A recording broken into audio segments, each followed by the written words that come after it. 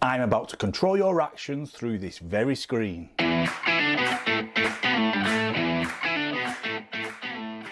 Hello everyone and welcome back to the channel. This is your first time visiting, please think about hitting the subscribe button, I'd love to have you along. Got loads of things planned and if you're a returning viewer then thank you very much and welcome back. This week it's only a short one but it's a fun one and I think you're going to like it. This is best viewed on a main TV screen. So if you're watching YouTube through the TV, that's ideal, or a computer screen. You can do it on a phone or a tablet or any other touchscreen device. Just make sure you don't touch the screen because I don't want you navigating away from this video. So what we're going to do, well, I'm going to control your decision making through the very screen.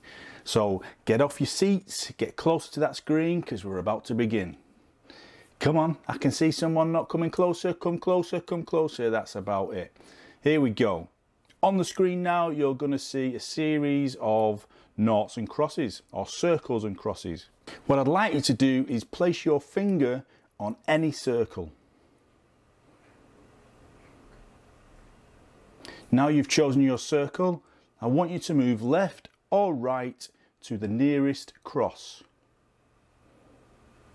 Okay, now I'd like to make a decision to move up or down to the nearest circle.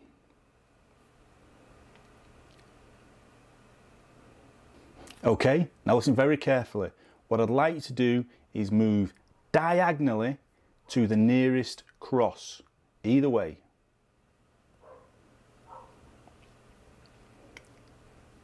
And finally, move left or right to the nearest circle.